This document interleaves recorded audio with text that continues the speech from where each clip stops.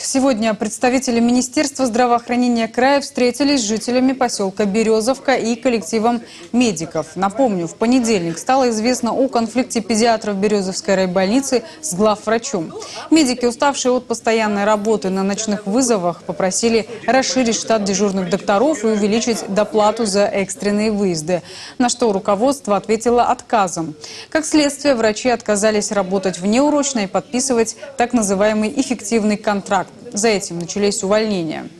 При переходе на эффективный контракт значит, вписан пункт о том, что врачи-педиатры за, ответ, за соответствующую значит, оплату должны оказывать экстренную неотложную помощь детям своего территориального участка. Они отказались.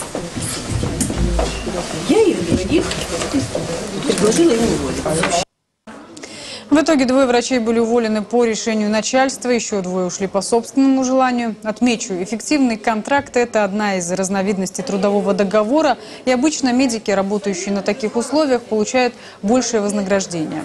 Но подписывать договор врачи должны добровольно. Сейчас э, сформирована специальная комиссия, которая проверяет законность действий глав врача. Результаты станут известны к концу следующей недели. В Краевом Минздраве заверили, что в любом случае жителям поселка будет оказываться вся необходимая медицинская помощь без ограничений.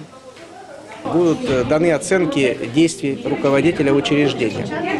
Что касается ситуации с организацией медицинской помощи, наша задача обеспечить в полном объеме интересы и детского, и взрослого населения на доступную помощь. Э, Работа педиатрических участков, работа по экстренным дежурствам будут- будет обеспечена в полном объеме. Действия министерства здесь простые и понятны. Мы приводим соответствие законодательства даже путем э, изменения назначения главных врачей. Такое, такое, такое полномочие у Министерства здравоохранения есть.